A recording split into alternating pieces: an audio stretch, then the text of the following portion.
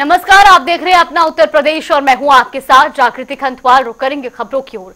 लखनऊ विश्वविद्यालय का सड़सठवा दीक्षांत समारोह का आज आयोजन किया गया, जिसमें एक लाख छह हज़ार छह सौ चौतीस छात्र छात्राओं को डिग्री दी गई।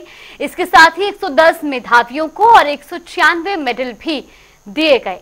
समारोह की अध्यक्षता कुलाधिपति और राज्यपाल आनंदीबेन पटेल ने की तो वहीं उच्च शिक्षा मंत्री योगेंद्र उपाध्याय और राज्य मंत्री रजनी तिवारी विशिष्ट अतिथि के रूप में मौजूद रही। ये तस्वीरें भी आपको दिखा रहे हैं लखनऊ विश्वविद्यालय की।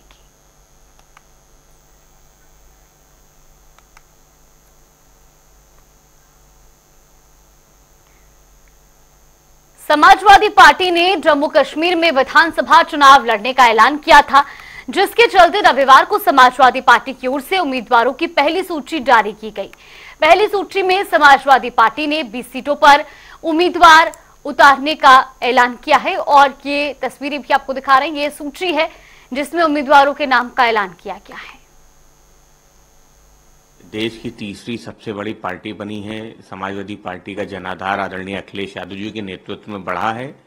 जम्मू कश्मीर में समाजवादी पार्टी का संगठन मज़बूत है। समाजवादी पार्टी ने अपने प्रत्याशी जम्मू कश्मीर में उतारे हैं और समाजवादी पार्टी की तैयारी बेहतर है। हम अपनी जो हमारी विचारधारा है, जो हमारे काम हैं, उनको लेके कश्मीर की जनता के बीच में गए जब धारा 370 की बात थी, जब कश्मीर में उन समस्याओं के लिए जो आम आदमी की समस्याएँ थी, जो लोकतंत्र को लेकर समस्याएँ थी, आदरणीय अखिलेश यादव जी ने सदन में भी उस बात को उठाया था, और समाजवादी पार्टी को भरोसा है कि जम्मू कश्मीर के चुनाव में समाजवादी पार्टी को सफलता मिलेगी, समाजवादी पार्टी मिल के सरकार बनाएगी। और बांदा से बड़ी खबर का रुख करेंगे, बड़ी खबर आपको बता दें, माफिया मुख्तार अंसारी की मौत का मामला, ये बड़ी जानकारी सामने आ रही है। मजिस्ट्रियल जाँच में हार्ट अटैक से मौत की पुष्टि हुई है। ये बड़ी खबर आपको बता रहे दरअसल मौत के कारणों को लेकर ये जाँच हुई थी और अब इस जाँच में हार्ट अटैक से मौत की पुष्टि हुई है। ये बड़ी जानकारी बांदा से सामने आ रही है। आपको ये भी बता दें कि आरडीएम की अध्यक्षता में एडीएम बांदा ने इसकी जाँच की थी। 28 मार्च को रानी दुर्गावती मेडिकल में मौत हुई थी और अब जिसके बाद इस पूरे मामले पर जाँच बिठाई गई और अब जाँच में भी माफिया मुख्तार अंसारी की मौत हार्ट अटैक से हुई है। इस बात की पुष्टि हो चुकी है। ये बड़ी खबर, बड़ी जानकारी आपको बता रही दरअसल मौत के कारणों को लेकर मजिस्ट्रियल जाँच हुई थी और डीएम की अध्यक्षता में एडीएम बांदा ने इस मामले की जाँच की थी। रानी दुर्गावती मेडिकल में मुख्तार अंसारी की मौत हुई थी और अब जाँच में हार्ट अटैक से मौत की पुष्टि हुई है। ये बड़ी खबर, बड़ी जानकारी। मुख्तार अंसारी की मौत के बाद कई तरीके के सवाल भी खड़े किए गए थे। उनकी मौत को लेकर के भी कई सवाल उठे थे और जिसके बाद इस पूरे मामले की जाँच की गई। अब जाँच में भी माफिया मुख्तार अंसारी की मौत की कार, मौत का कारण हार्ट अटैक बताया गया है। ये बड़ी खबर, जाँच में हार्ट अटैक से मौत की पुष्टि हुई है। ये बड़ी खबर, बड़ी जानकारी आपको बता रहे हैं। बांदा से इस वक्त की बड़ी अपडेट। डीएम की अध्यक्षता में एडीएम बांदा ने इस मामले की जाँच की थी।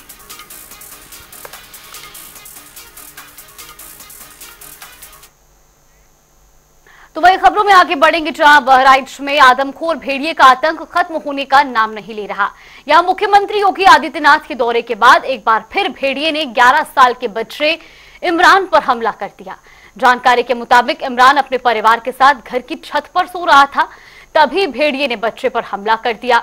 भेड़िए के हमले में बच्चे के गले में गंभीर चोट आई है। आपको बता दें कि 110 गाँव में ऑपरेशन भेड़िया पिछले कई दिनों से चलाया जा रहा है। वन विभाग की कई टीम, पुलिस और पीएससी के जवान भी इस ऑपरेशन में शामिल हैं। प्रशासन के कर्मचारी भी लगातार लगे हुए हैं, लेकिन बावजूद इसके, जो भेड़िया है, उसका आतंक लगातार जारी है। हाल ही में मुख्यमंत्री योगी आदित्यनाथ खुद बहराइच दौरे पर आए थे और इस दौरान वो पीड़ितों से मुलाकात करने के लिए भी पहुँचे थे, लेकिन अब उनके दौरे के बाद एक बार फिर 11 साल के बच्चे पर भेड़िए ने हमला किया है। हम कहीं जंगल में इको टूरिज़्म जहाँ पर चलता है, जैसे कतरनिया में है या दुधवा में है तो जब भी हम सफारी के लिए निकलते हैं तो हम खुले में खुली जिप्सी में बैठते हैं, सफारी करते हैं, कभी तेदु, तेदुआ या कोई बाघ या कोई भी जानवर हाथी छोड़ करके, क्योंकि हाथी काफ़ी उसकी हाइट ज़्यादा होती है। हम इसलिए खुली जिप्सी में बैठकर जाते हैं, क्योंकि कभी अपने अपने हाइट से ऊपर कोई भी चीज़ हो चाहे ऊपर कोई बैठा हो चाहे ऊपर कोई खड़ा हो चाहे लेटा हो अपनी हाइट से बहुत ऊपर की चीज़ों पर वो कभी न शिकार करता है न आक्रमण करता है। ना ये दोनों और कई आदमी आ- हड़का भाव। एक हमारे तो हिंदुपुरम है। कल तो कोई नहीं कल हमारे लोग लेके। हाँ रात में दो दो बजे का टाइम है ढाई हवा अब तो इस को ठीक है। हाँ, हाँ डॉक्टर हैं। कहने दवाई करेंगे और अभी कोई बताई नहीं है। तौलिया से या फिर कपड़ा से उसको हुसकाया, लेकिन नहीं भागा। फिर लाठी डंडा उठाया, तभी भागा उसने। तो दूसरे के छत पे जाके फिर उतर गया, वो चला गया, गायब हो गया। फिर हम ऊपर पहुँचे तो देखे खून वून निकल रहा था, ज़्यादा नाखून वाखून लग गए थे उसके। फिर वहाँ से मासी अस्पताल में आए, वहाँ से रेफर किया, फिर बहराइच में आए। थाना। मेरा नाम का इमरान है। हाँ इमरान है उसको। और चलिए रुक कर लेते हैं बड़ी खबर की ओर। लखनऊ से बड़ी खबर आपको बता दें, इस वक्त की बड़ी खबर, बड़ी जानकारी। ईद मिलादुन्नबी पर लखनऊ में जश्न का माहौल। लखनऊ के कई इलाकों को रोशनी से जगमग सजाया गया है। इस्लामी झंडों के साथ तिरंगे झंडे भी लहराए जा रहे हैं और इस दौरान इस्लामी झंडों को के साथ साथ तिरंगे झंडे लेकर लोग भी अपने घरों से निकले। कड़ी निगरानी में भव्य जुलूस निकाला जा रहा है। जुलूस में बड़ी संख्या में मुस्लिम धर्म गुरु भी शामिल हुए। महिलाएँ, बच्चे और बुज़ुर्ग बड़ी संख्या में इस दौरान जुलूस में शामिल हुए और जुलूस के रास्ते पर भारी पुलिस फोर्स की तैनाती भी की गई है। ये बड़ी खबर।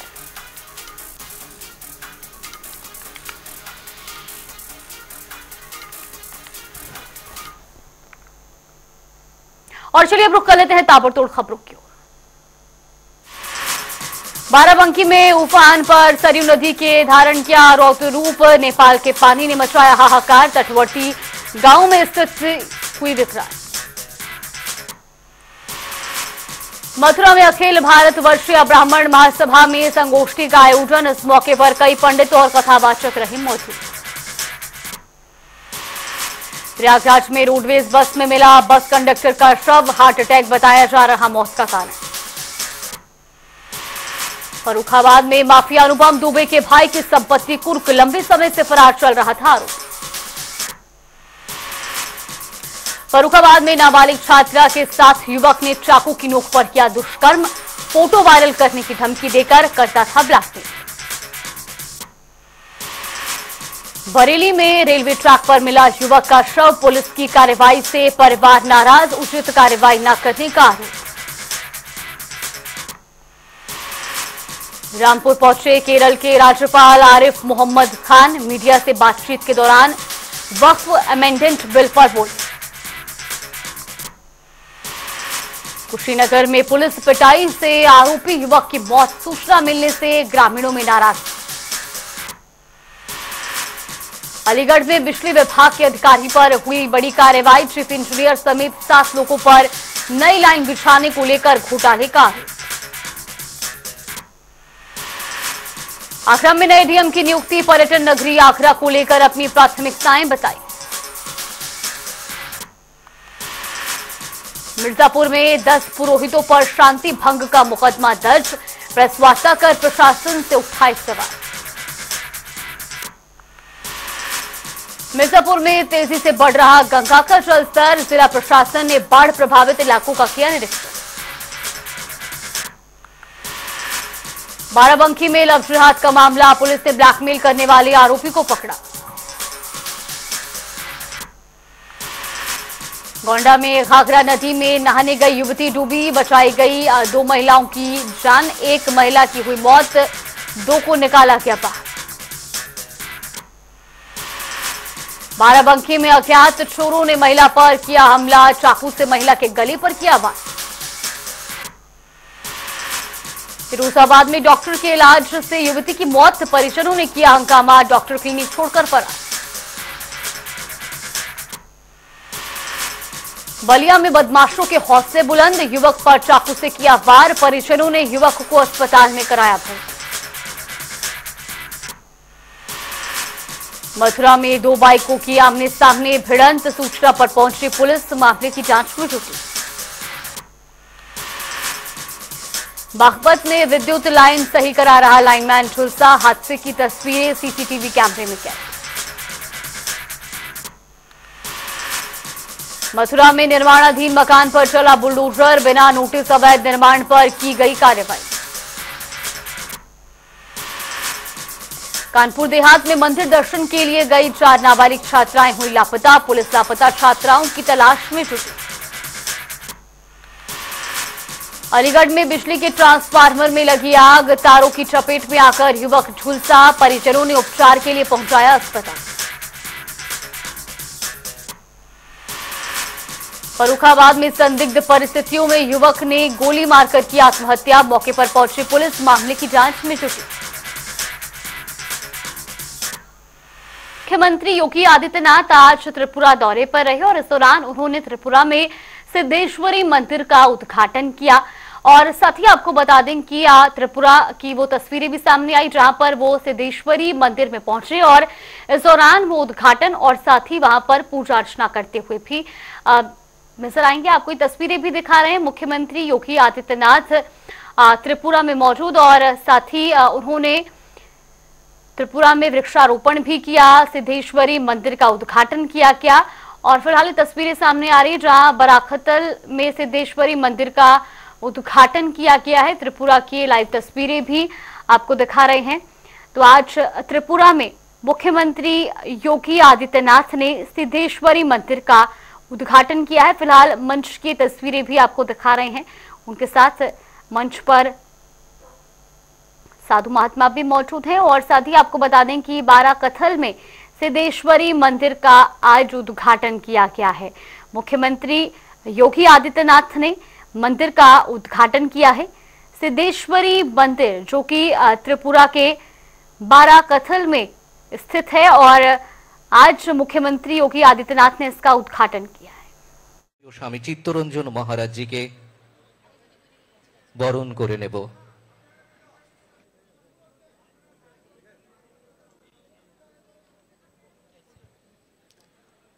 मंच पर आसीन हमारे परम पूज्य स्वामी चित्तरंजन महाराज जी का अब हम पगड़ी से उनका अभिनंदन करेंगे, जिसे पहनाने के लिए मैं मंच पर आमंत्रित करना चाहूँगी। श्री नाम Deepak Kumar Sinha from Puthiva welfare society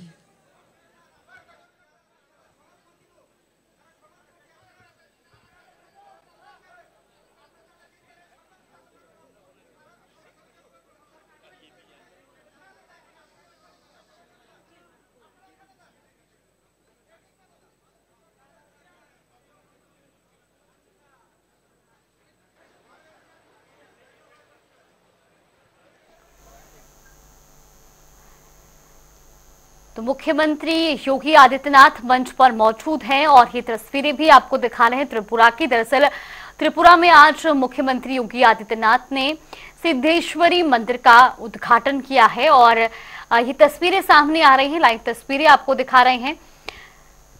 तो मुख्यमंत्री योगी आदित्यनाथ आज त्रिपुरा दौरे पर हैं और, त्रिपुरा के बारह कथल में उन्होंने सिद्धेश्वरी मंदिर का उद्घाटन किया, साथ ही साथ उन्होंने वृक्षारोपण भी किया है। और फ़िलहाल ये तस्वीरें भी सामने आ रही है। अब से कुछ ही देर में मुख्यमंत्री योगी आदित्यनाथ संबोधन भी करेंगे और ये तस्वीरें फ़िलहाल लगातार आपको दिखा रहे हैं त्रिपुरा की। आज मुख्यमंत्री योगी आदित्यनाथ त्रिपुरा दौरे पर हैं और त्रिपुरा में उन्होंने सिद्धेश्वरी मंदिर का उद्घाटन किया है। मंच की तस्वीरें आपको लगातार दिखा रहे हैं टीवी स्क्रीन पर। त्रिपुरा से ये तस्वीरें सामने आ रही हैं।